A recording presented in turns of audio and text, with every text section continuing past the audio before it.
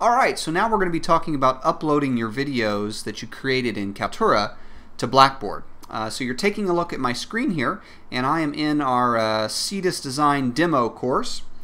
So essentially, what's really cool about Kaltura is you can put a video anywhere in your course that you'd like. So if you want to make a video announcement, you can totally do that. Uh, if you've got, uh, let's say, an assignment or, or some kind of media uh, to add into the modules, you can do that upload a lecture. Perfect place for that to go. Um, so what we're going to do is I'm going to show you how this works, and, and it's essentially the same across the entire gamut of wherever you are in Blackboard. So I'm going to go to our modules uh, folder. Um, that's primarily where you're going to be uploading any kind of lectures, uh, videos, and so on. So I'll go into module 2 here. Okay. So I'm going to go down to my media section and above the media heading you've got this little drop down arrow you can click and then select edit. So we're going to add a media segment within this particular heading. Okay, so we've got media, view and listen to the following, and now I'm going to put in my lecture. So we're going to say presentation one. Be great if I could spell. There we go. Okay. So now I'm going to click this little button here that's marked Mashups. If you don't see this button on your text editor, come over here to the uh, right hand side and you see this Show Less.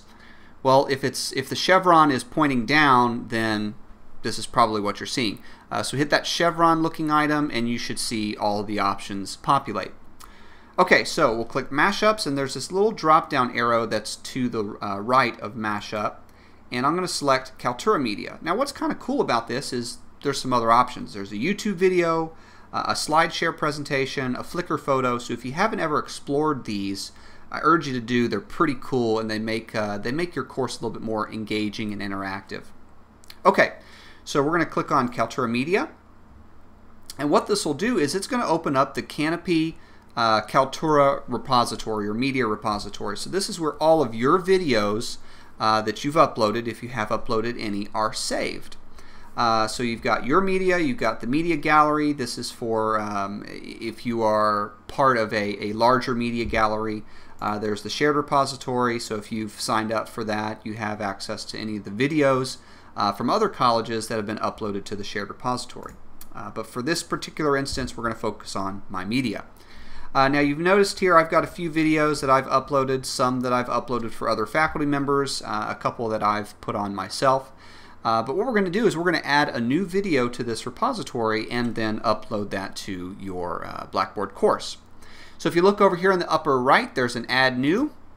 And from that, there's a couple different options. A media upload, so you upload any video from your computer uh, a webcam recording, which just starts a uh, an ad hoc webcam recording, so it'll it'll start a webcam right there if, if you click on that. Uh, a CaptureSpace instance that's going to open up the Kaltura CaptureSpace that we took uh, took a look at in the record section, uh, and then screen recording. That's going to be just like webcam, an ad hoc uh, screen recording straight from this particular option. But we're going to pretend that you've already recorded your video and you want to upload it from your computer. So we'll go to Media Upload.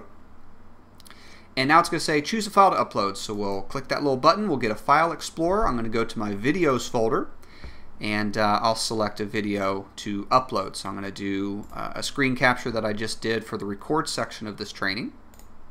There we go.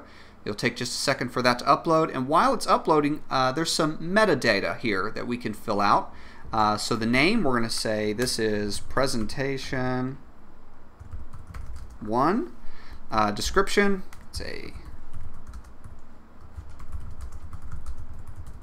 okay and then tags. Now a lot of a lot of folks ignore uh, the tags but they're actually pretty important and there's one that is especially important. Uh, so if you've ever had a video in your course before uh, and you've done a course copy and all of a sudden that video gives an access denied error uh, the main reason for that is it's missing a tag and that tag is KAF there we go. All I have to do is type in KAF and it gives me the, uh, the tags here. And it's KAF underscore global underscore channel. Now how on earth would you know that? You wouldn't. Uh, so that's going to be why I'm including this into the training. Essentially what this says is it is part of a specific tag or specific channel uh, that allows it to cross over different courses. Uh, so this is supposed to pr uh, prevent you from getting that access denied error uh, anytime you do a course copy and that video drops. Okay, so we've added that. I also recommend adding the CAHS tag to it. So CA, uh, oops, let me click in the box again. C-A-H-S, and it's searching. There it goes. It found it. So I select the CAHS uh, tag. And then I also recommend putting your name. Um, now, you may be uploaded as a Blackboard user, so type in BB USER and then underscore your name. Okay, um, so I haven't uploaded one uh, with this particular sign-on, but I can do that. Uh, or you can just simply type in your name. Uh, and then it'll say, hey, do you want to add this as a new tag? And you'll say, yes, you do. So that's three ways that this video can be found uh, either by looking it up in the media repository, uh, looking it up when you're doing a course copy, uh, or if you need to reach out to myself or anyone here at the CS Design team to find that video for you because let's say something goes wrong, uh, we have some different options to find it. Okay, then we have this little plus sign here. This is uh, required for media, uh, uh, required to share it on the shared repository. So if you do want it to be up on the, the college-wide, or I should say the university-wide shared repository, uh, for anybody to be able to watch, uh, you're going to want to fill out this section here, and there, there's quite a different, uh, quite a few options for you to select. Um, it's not a necessity. It's not something I really recommend, simply because for for our uses, we're going to be using it for our classes. Okay, so once you've selected all of those uh, segments, you're going to click on Save. It's going to save it, uh, and then now we're just waiting for it to upload.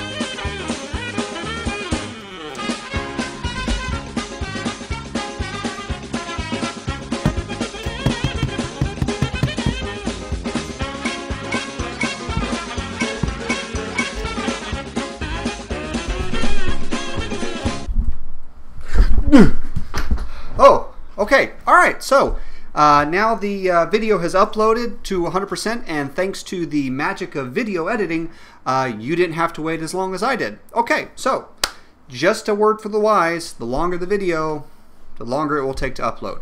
All right, now we have got everything uploaded. We've got the, the title, we've got our uh, description, we've got our tags. It's 100%. I'm going to click on back to browse and embed. All right, so that's going to take me back to my uh, media, and you'll see that now we have presentation one added here for 6 minutes and 52 seconds. I'm going to click select, and in doing so, it's going to embed that into my course. So if I scroll down and take a look at my uh, little um, uh, text editor here, we'll see I added presentation one. Now we've got the picture of the video that any uh, students can click on to watch. And then we've got all the metadata over here to the side in a table. Um, if you don't like the table being here, no big deal. You can uh, just right click, delete the table. It just takes all that text away, uh, but it will leave your video. Okay, once you're finished, you'll scroll down, you'll select any one of the selections here, whether you want them to view the content, track number reviews. If you've got date and time restrictions, you can add those.